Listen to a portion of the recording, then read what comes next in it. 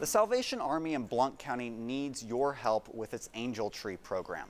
The deadline to adopt and shop for a child in need is tomorrow, and there are still lots of names and wish lists hanging on the tree in that community. 10 News reporter Katie Inman spoke to the Salvation Army, who says there were more Angel Tree applications this year than in the past.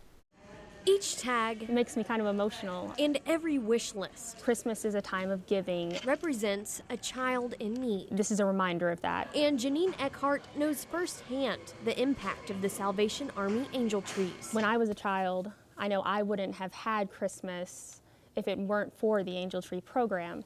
And it's the same situation with, with these children that we work with. Now she works for the same organization that allowed her to have Christmas growing up, so other underserved kids can have that same experience. Every child deserves to have that feeling of joy and excitement on Christmas morning, and the Angel Tree program is what makes that possible. So here's how it works. You pick a tag off of a public angel tree, then you fill a bag with their wishes, and then you return it to the designated drop-off spot on the tag. This is a season that's not just about us. Um, it's a season about returning. It's a season about thinking about vulnerable children. But this year, the angel trees at Vienna Coffee House and National Fitness Center in Blount County are more full than usual. Because we have so much more demand this year than last year, um, even though we have more community partners this year, we need um, a little bit more help from the public than we have in the past. The nonprofit received 200 more applicants this year than last,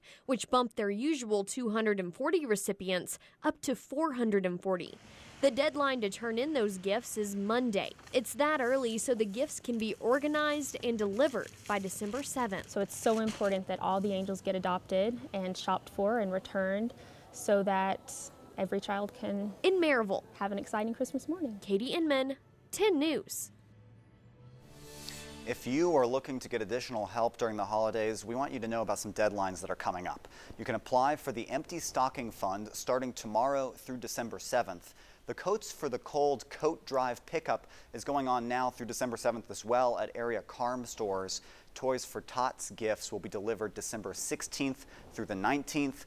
For more information on how you can help or get help, head to our website, WBIR.com.